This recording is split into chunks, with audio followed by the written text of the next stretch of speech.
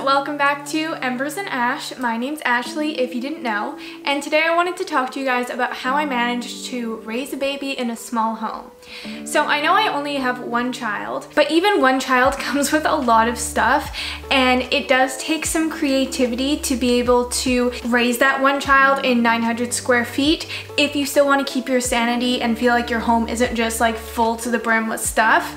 So over these past three months, I've learned a lot and I wanted to share with you guys how I've been able to manage. So the first tip that I have for you guys is to buy baby gear that folds up. So for me, it's really important to have gear that folds up, not only for when I'm storing it long term for a next child, but for the day to day, because we have a relatively small house, floor area is really valuable and it's really nice to be able to fold things up during the day and store them away, just so we clear up space and it doesn't feel like we're tripping over everything while we're trying to walk around. An example of this is our little play area for Rook Josh made it and it just collapsed down so we can just put it against the wall and it really opens up the room. I also have a baby bouncer which a friend very generously gifted to me um, and it works perfectly great.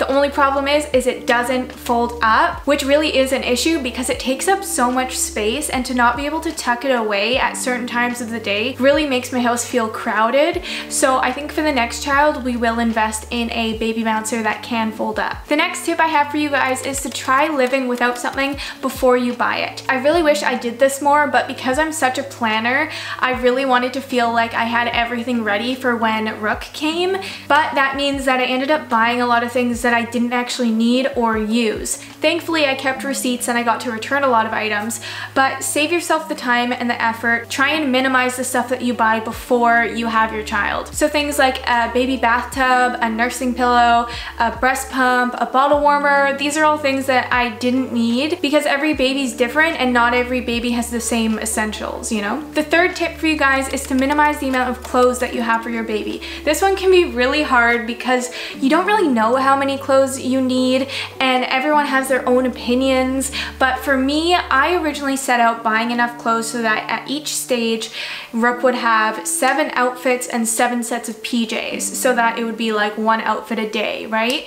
And that's fine, but it didn't really work out that way because the sizing on clothes are so off that you can't like plan it out to a T like that.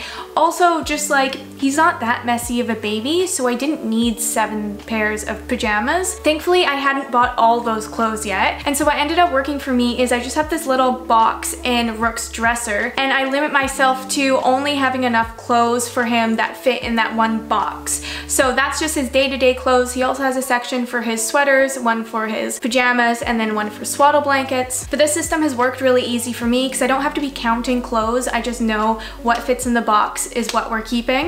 So that's been great. The next tip is for what you do with all those clothes that don't fit your baby at the moment or that they're yet to grow into. So in the nursery, we have two closets.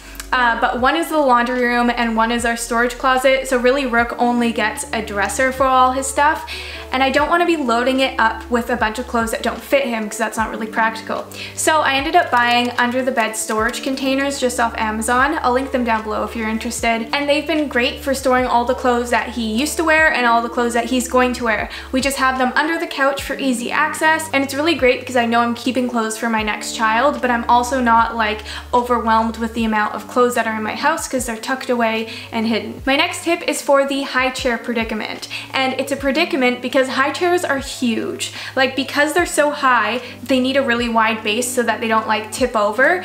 But like I said, floor space is very valuable in my home and so I don't want to be taking up so much room with a high chair. Rook is still three months old so he's not eating yet but I already bought my solution which is a clip-on high chair for your table. These things are really awesome because like I said they just attach right onto your table and they take up no floor space and I feel like it's going to be just as functional as a high chair. I had a friend over a while ago and their baby used it and it worked out fine so I'm really excited for when Rook is the age to eat and we can take advantage of that. My sixth tip for you guys is to have minimal decorations in your nursery. Now I know from looking at all the Pinterest pages and all the YouTube videos, it can be really appealing to like fully decorate your baby's nursery, have a theme, have their name on the wall. It's super cute. But when you live in a small home, it's just not practical because babies grow so quick, they go through different stages where they need different things, right? And so if you fill your nursery up with decorations, it's hard to evolve that room with how your baby is changing without having to store some of those decorations away. And I, for one, do not want to use storage space on useless decorations. So we kept the decorations basically to a minimal. Like honestly, I don't know if there's any real decorations in there.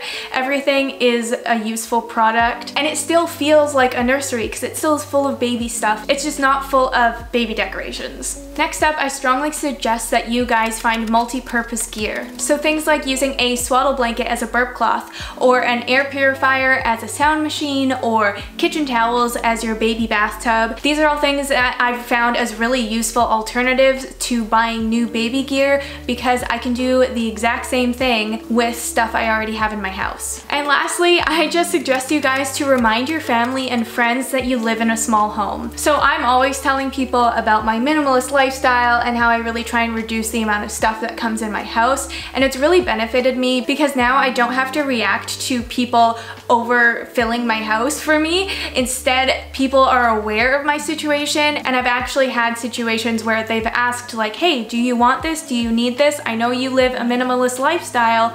I want to ask before I give, which is so so thoughtful and I'm very thankful of it. So yeah, that's everything. I also wanted to add that I didn't mention anything about toys because Rook isn't really in that place in life where he's playing with a bunch of toys, so I don't have any advice for you yet. But once I get there, I'm sure I'll have something to say about it. If you guys are interested in more mom advice videos, I have a video on everything I know about newborn sleep, which I think can be very useful to you guys because baby sleep and your sleep is like the most important thing. So anyways, Rook is crying right now. I'm gonna go tend to him. Thank you guys again so much for watching and I'll catch you in the next one. Bye!